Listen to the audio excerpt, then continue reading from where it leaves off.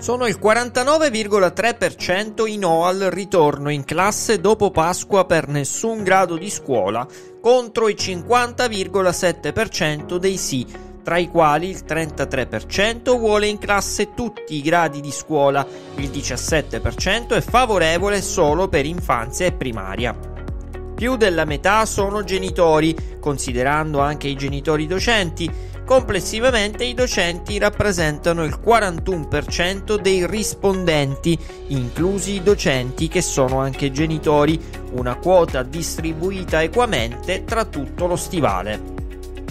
La maggioranza dei lettori della tecnica della scuola è ancora in attesa della prima dose, il 10% invece non ha intenzione di vaccinarsi, contro un 30% di utenti che hanno già prestato il braccio al vaccino.